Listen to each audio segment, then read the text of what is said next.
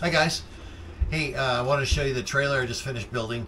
It's a Cargo-Mate 7x12. It's got about a 7 foot ceiling. It's pretty, pretty a lot of headroom. Um, I love this thing. It's going to be so much fun. I'm going to do a bunch of camping and I'll be able to bring my motorcycle and go exploring all over the place. And uh, that's what I built it for. So this is the interior of it. I'll show you the interior, and then we'll go uh, at the end of this. I'll show you the pictures from the build and uh, from the beginning to the end. It's pretty cool.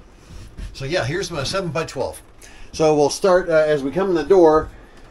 Uh, on the right hand side, obviously, is the uh, the front counter, and then I've got the sink with a foot pump. I could just pump it. Doesn't require any power, and uh, I wanted that because just in case I was out boondocking I didn't want to have to run down the battery just to get water. Um, here's a closet and a set of drawers. I bought that set of drawers for 50 bucks on Craigslist. Here's the most boring thing in the whole trailer, the closet. Uh, got a little shelf for over the bed. Throw my drink or uh, iPhone up there while I'm charging it. The bed will move out of the way. It's just on a little bed frame that I bought on Amazon, and it'll fold up, and uh, I can put two motorcycles in there side by side if I wanted to. I only got one, but just in case I wanted to uh, grab one for my buddy. So there's the uh, the back door. It doubles as a ramp and also a porch. And I built an awning on the back, so the porch will be out of the sun or out of the rain. Man, can you hear the rain now? Holy cow!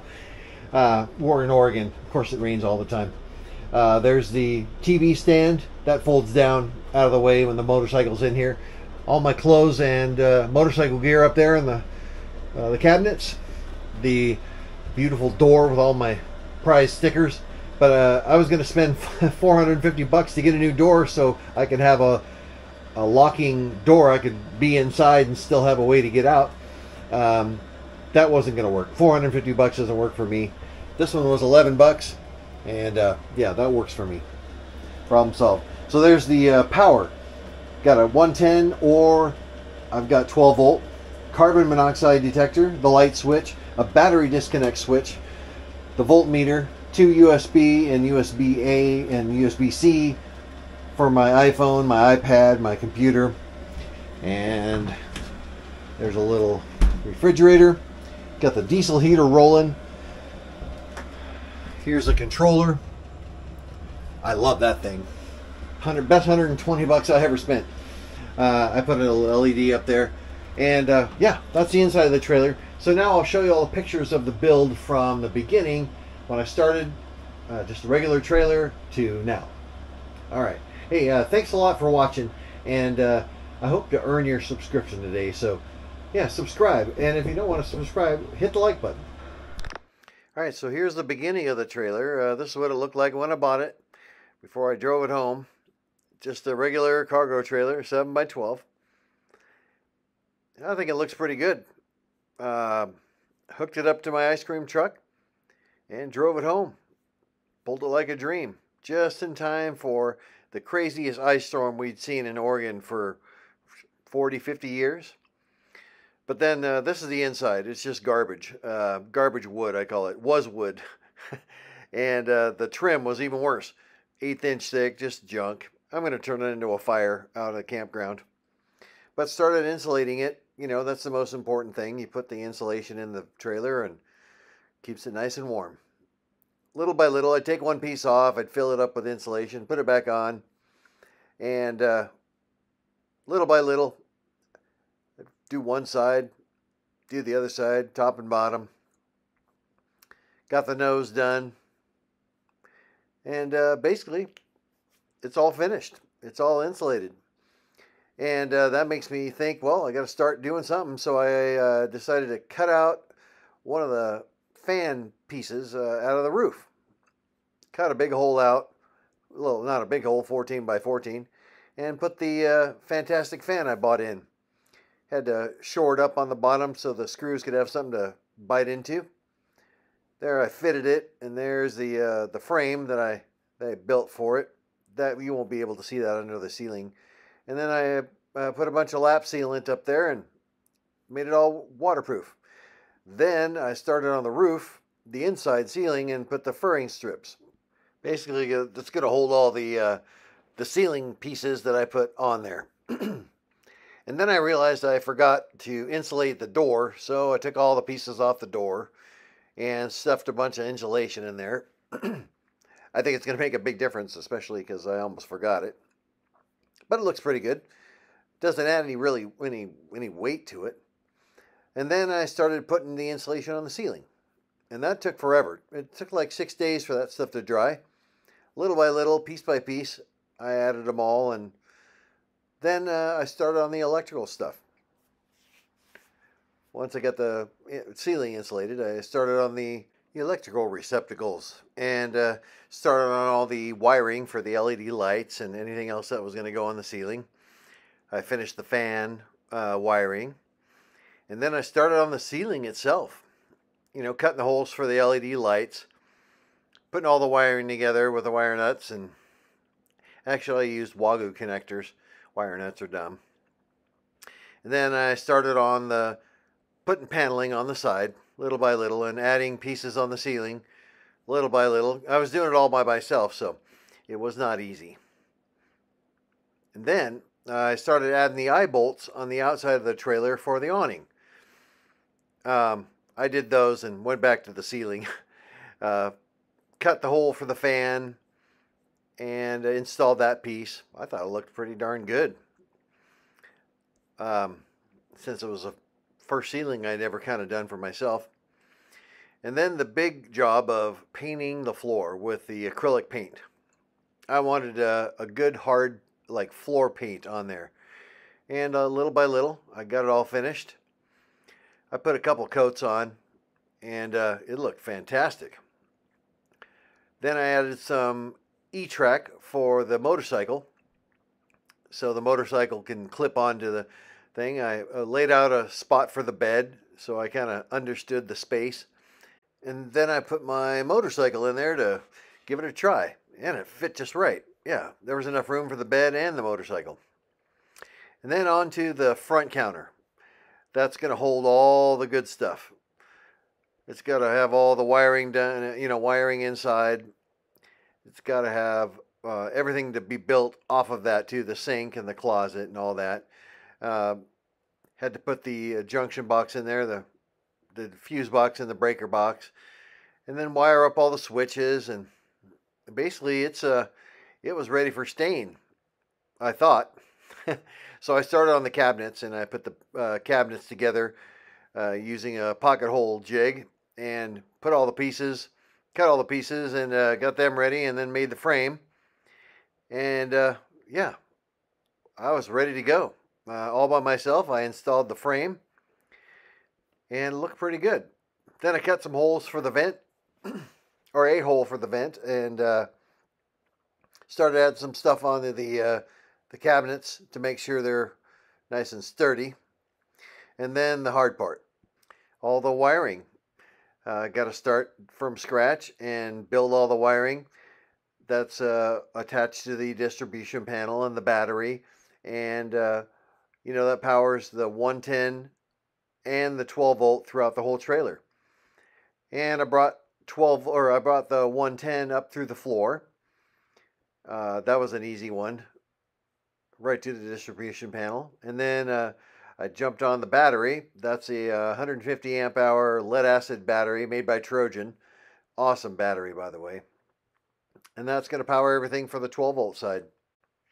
All right, so now on to the uh, building the front nose cabinet, which uh, a bunch of angles, and that's not my forte, but I got it done. And then I started with the cedar, uh, a really aromatic, uh, aromatic cedar all over the cabinets. Then cut out the cabinet holes for where the doors are going to go. And then that worked out good. Then uh, look at the size of this firewood pile I got going. Just chunks of everything. And then I started on the cabinet doors. The cabinet doors were uh, they were a lot of fun, super easy, and just wanted to you know cover up the holes I made. Nothing fancy. Then on to uh, the sink. The sink was a pain in the butt, but I got it done. And then onto the USB uh, receptacles and the carbon monoxide detector, just in case, you know. Uh, it's nice with a diesel heater. But then I started to hear the spring of the door going boing, boing, boing. So I built a box that kind of covers up the spring. And uh, I thought it looked pretty good. At least now you don't look at the spring. And I put some sound deadening in there so you couldn't really hear it that well. And then uh, started working on that uh, beautiful receptacle that pops up that's on the front counter. Then a little more on the uh, the the closet area. I framed that all in, and then I put a bunch of uh, cedar on it, and then uh, closet rod, of course.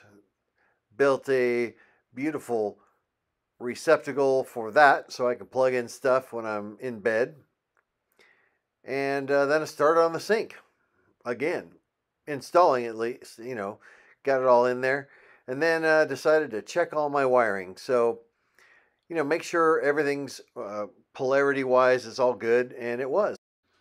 But now uh, I realized I had to move the refrigerator. The refrigerator was too far to the left, so I had to move it to the right, uh, giving me a little bit more room for the battery and the wiring on the right side. And uh, I just, I didn't feel like it was in the right spot, so I moved it. Here's some of the stuff they gave me. They gave me a remote, like I'm ever going to use that anyway, I got the rest of the stuff installed in the uh, front of it, uh, ready to go for stain. And uh, before I stained everything, I built a a quick uh, table for the TV, and it collapses, gets out of the way as soon as you want to put the motorcycle in there. And then I stained some of the uh, trim pieces, and oh man, started to come together. But now I got to get serious and start staining the uh, the ceiling and the front counter and all that. That's why everything's all taped off in the blue tape uh, before I start working on the diesel heater. So here comes the diesel heater. Uh, had to cut a hole in the floor. Big four inch hole, let the exhaust out and all that. Um, then I installed it and then I realized, man, I think I put it in backwards. So I switched it up but you know, getting everything primed and uh, getting to know that controller, that was uh, that was a lot of work. It's uh, not easy to translate it from Chinese, but worked on the bed, uh, threw the bed frame in there. That's a twin bed frame from Amazon that just folds up. Threw an eight-inch uh, memory foam mattress on there, and then uh, started cutting a hole for the heater vent on the front counter piece and that that worked out pretty good. Um, then I built a little shelf that goes right above the bed, so I could throw my phone on there, maybe a drink. Then I put some uh, other pieces like I. I've took these mason jars and put them, fill them full of rice and uh, peas and stuff, and screwed the lid on. That's the uh, the the eleven dollar piece that I used to lock the door. Works like a dream. Then I finished up the front of the uh, the sink. I had to cut a hole to let the water uh, jug in and take it out whenever I wanted to. That's the floor pump, the foot pump for that. Really easy system. Just uh, pump it and it works like a dream. Then I started on this diesel heater uh, and I wanted to get all the steps right. I wanted to make sure that it was primed. Um, you know, everything was run correctly before I started doing it. So I was working on hanging the uh, kind of loud uh, fuel pump. Made a lot of really large ticking. Uh, put some sound deadening around it. And uh, yeah, seemed to do a good job. Uh, then I filled up the container or the, the, the fuel tank full of fuel and started priming it. Got it all primed. Put the exhaust on. Uh, made sure the intake was out of the way. Here's a shot of underneath the trailer uh, I got two different uh, mufflers on there, and man, you can't even hear it. It's great. Um, oh, went back to the sink because I, I needed one piece of hose to have the drain, and I, I found that piece of hose. And so I went back to the heater, put that giant piece of uh, heater vent hose on, then realized I needed some uh, sound deadening uh, stuff on the front of the cabinet. So I put that on. Then I built a door and a cut out a little hole so I could work on the diesel heater when it was, uh, you know, in case that ever needed to happen. And basically, I fired it up and it ran, and it's done. So I don't think there's anything else I have to worry about. Uh, I might add some stuff along the way, but yeah, the whole trailer's finished. Here's a picture of it when it's uh, done. Of course, the floor's dirty, but hell, and then the, the bike fits in there perfectly. I can still sleep in it when the bike's in there, and that's all I really wanted.